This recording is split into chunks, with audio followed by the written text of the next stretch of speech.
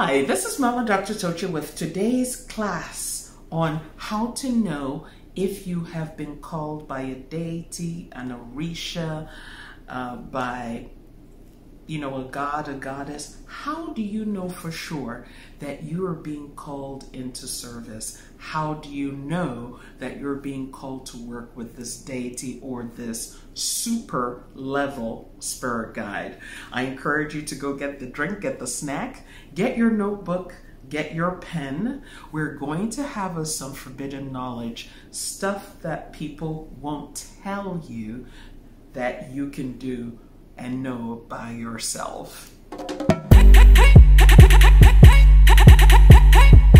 Thank you for coming back. Let's get into today's class. A lot of people wonder should they work with a deity? What is a deity? What is a god? What is a goddess?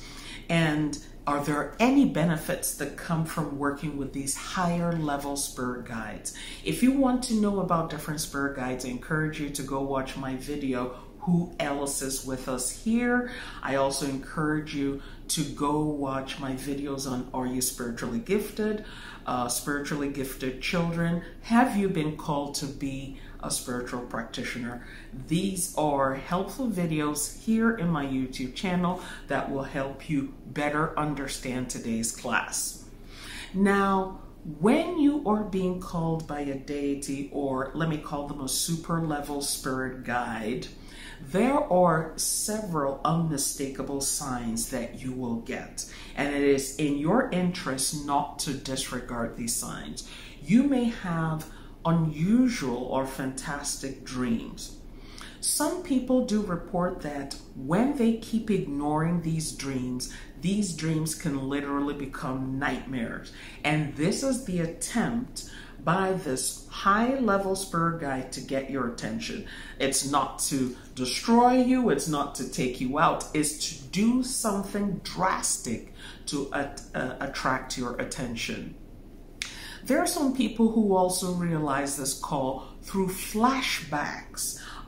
Uh, they have flashbacks of their past life, past incarnations.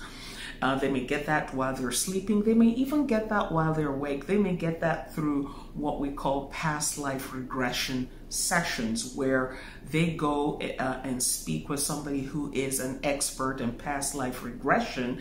And when they start regressing to their past lives, lives that they had before they were born in this incarnation, they realize that in these past lives they used to work with these deities. And when they come out of that regression, they just have this sense of longing. Oh my goodness, I need to reconnect. Even sometimes during the past life regression, they might be able to recall past conversations, past discussions, and agreements and covenants they had with this higher level spirit guides, where they agreed with those spirit guides that when they reincarnate again here, that they will continue the work that they uh, used to do in that life or in previous lives.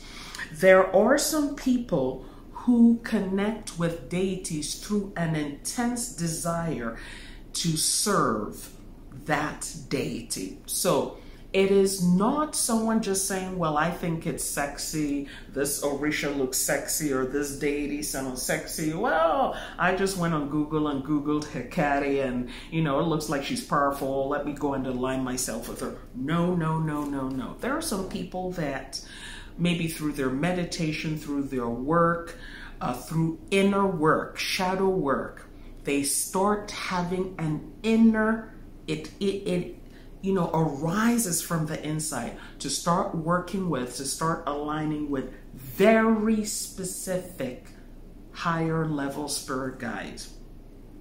When this desire starts emerging, such people are advised to go and confirm this through divination or confirm this through uh, connecting with spiritual uh, practitioners who are gifted in communicating with the other side. So just don't assume that, you know, you went to a store and you saw a statue of, you know, a deity and you're like, okay, that looks pretty. If I put her or him on my altar, I guess, you know, then we'll start doing something. No, no, no, no, no. It doesn't work that way. Okay. Now, there are uh, some people who it is in their lineage to work with certain deities or to work with certain gods and goddesses, okay? And they will see symbols of this deity around them in the physical. So let's say, for instance, it's a, a deity uh, represented by a snake. They will always have snakes around them. Snakes in the backyard, snakes in the front yard. Snakes showing up on their computer. They're looking through something and then boom, something about snakes comes up. Um, you know, snakes swimming in their swimming pool and, and things of that nature. Snakes in unusual places that is also a good opportunity to go get a divination and say, why am I seeing these symbols? Now, I'm just using snake as an example. Please do not think that all water spirit guides are represented by snakes. No, they're not. I'm just using that as an example. Uh, a lot of these deities or higher level spirit guides can use animal symbols or animal symbolisms or, or animal totems to make themselves known and make themselves, um, yeah, make themselves known and also make known their intentions.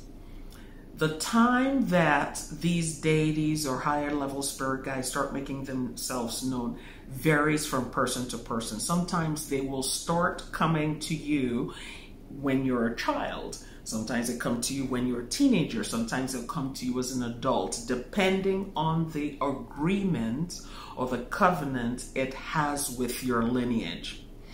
If this is showing up in your lineage, you're seeing certain symbols like there's the sun or the lion or the snake or the crocodile or the spider or the eagle. And this this symbol is constantly repeating itself. You know, you're always seeing a pot, you're always seeing a flower or a certain specific flower or butterfly, something like that. Get a divination, find out what's going on, and take immediate action. Even if your current family is religious and they have lost those roots, don't be lazy do the research, start tracking your heritage, start asking questions. You might have extended far family relatives who are actually maintaining the spiritual tradition in your lineage. And you will find out that once you start um, aligning yourself with these things, you will start e- experiencing exponentially improve spiritual communication, experiences, your material circumstances will improve. And talking about spiritual uh, material circumstances, a lot of people who are called by deities and refuse to answer the call of these deities can end up suffering material losses. Depending on what the agreement is, with that deity, they can even sustain physical injury, okay? Even more than material losses. They could lose their businesses, they will lose their jobs, they'll be humiliated and embarrassed at every turn. Nothing they do works, you know. They're surrounded by failure all around. They're involved in mind boggling addictions that don't even make sense. So, again, doing a divination, find a, a reputable spiritual practitioner around you who can confirm these things through a divination. Just don't assume that a deity is calling you. Another thing that comes up is can you call yourself? Well, the general rule is no, but there are exceptions to the rule, like I mentioned before if there's this intense desire that wells up within you to work with a specific deity. But understand that you need to be in alignment with your spiritual crew first before you can be in alignment with this deity and start seeing changes in your life. Also, remember that when you are called to work with a deity, if you're working with a deity, you have to do the work of the deity according to the way the deity wants that work to be done. You can't be aligned with the deity and doing things your way. and being obstinate and saying, well, uh, well, I'm not going to make animal offerings. I'm a vegan. Or I'm not going to go to the water. I hate going into water. If that's what the deity wants, that's what you need to be doing. Okay. There are some people that say, uh, well, I don't want anything to do with the deity. I've gotten the calls. I'm getting, uh, you know, all the signals. You would have to go to a spiritual practitioner to resolve that and to do certain rituals to separate you from that deity. You cannot stay in your home and separate your deity with ordinary invocations and screaming and shouting, casting and binding. It will not work.